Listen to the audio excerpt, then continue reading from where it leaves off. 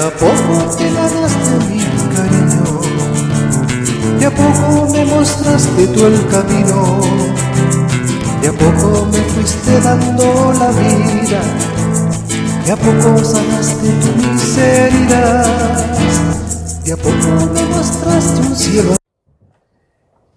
Estamos por ahí, por la mitad de mes ya, de la mitad del año, cómo va corriendo el tiempo y vamos bien, nos vamos poniendo viejos, un poquito más, un poquito menos, pero lo importante es que la vejentud de la edad, del tiempo, no tiene nada que ver con la vejentud del alma, nada de viejitas del alma, sino que jóvenes siempre en el Señor, con ese espíritu que el Señor nos da, que nos da la luz, nada de problema, están, sí, lo superamos, sí, solo, no, porque ahí está mi orgullo, no, yo me la puedo, no, ¿para qué vamos a pedir ayuda? No, ¿para qué si yo puedo? Aquí el Señor me ha dado trabajo, me ha dado plata, tengo poder. ¿Qué tengo que depender de los demás? Orgullo. Y la soberbia, bueno, yo ayudo, ahí tienes migajas. Mm, y lo doy con desprecio. Ese vaso de agua, que es lo único que tú puedes tener, y lo das con amor, vale más que a lo mejor una tremenda casa que te puedan regalar así como, ahí estás humanidad, de dentro del Señor. Y veamos esa palabra maravillosa que hoy día nos tiene ¿ah? en Proverbios, en Proverbios 24, 16. Y mira, son esas palabras cortitas que nos ayudan. Pues el justo cae siete veces y se levanta. Si tu enemigo cae, no te alegres, no celebres su tropiezo. Palabra de el justo cae siete veces y se levanta. Eso es lo que siempre decimos, el justo, el santo, siete veces como mínimo se cae en el día. ¿ya? Y se levanta, hermano querido, no queda ahí al tiro, por eso no deja, por eso dice el Señor que no pase ah, la noche, el atardecer con tu ira, con tu rabia, sino que solucionalo, para que Satanás no tenga ahí, ahí, ahí, te voy a devorar, te voy a devorar, te voy a devorar, ¿por qué? Porque le di espacio inmediatamente, porque es más fácil. Cuando tenemos una herida chiquitita la sanamos y sale al tiro, ni me duele.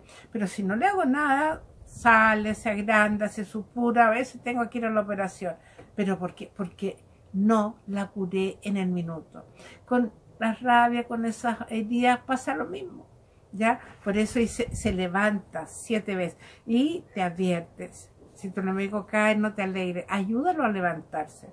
Y vamos a terminar con estas hojitas ya que nos habla de las dificultades en la vida. Cuando dejes de mirar a las dificultades de tu vida como un obstáculo y comiences a verla como escalones, subirás por encima de tus dificultades y ganarás algo de ellas. Te harán más fuerte y sabio. Así es, hermano cuando mi dificultad no es para hundirme, no es para desesperarme, sino que es, es un escalón, es algo que me va a ayudar para levantarme. ¿Cómo lo hice? ¿En qué me caí? La próxima vez voy a cometer este error. Por ahí no va la cosa. A lo mejor me dediqué yo sola y no me olvidé del camino al Señor. Y la dificultad vino porque no le hice caso a Él. Bueno, la próxima, Señor, ¿me ayudas? Él te ayuda, pero le hacemos caso.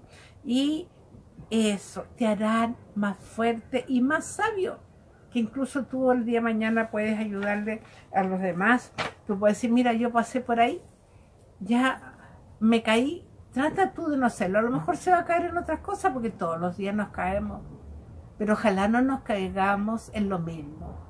Ya vamos subiendo ese escalón. Estábamos bien abajo, ahora vamos subiendo y vamos peldaño a peldaño. Cuatro, bajamos tres, pero hemos subido uno. Así que digámosle, Señor, ayúdame a que frente a las dificultades no pierda la paz, la paciencia, sino que confíe plenamente que tú me vas a ayudar para salir siempre adelante.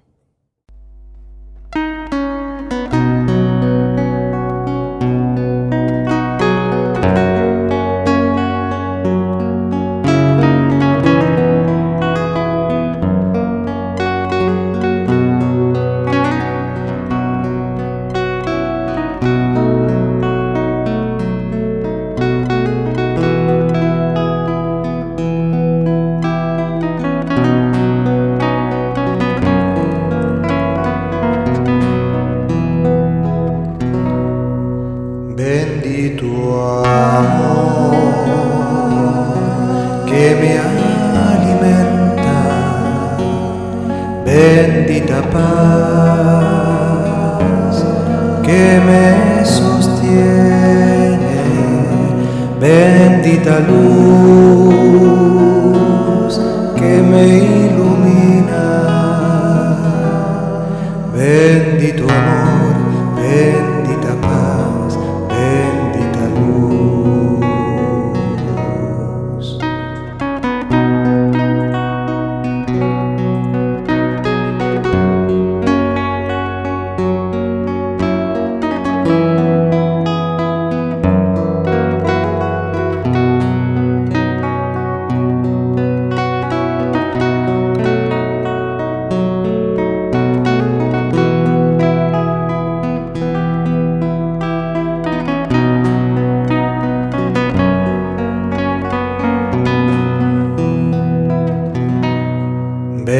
Bendito amor que me alimenta,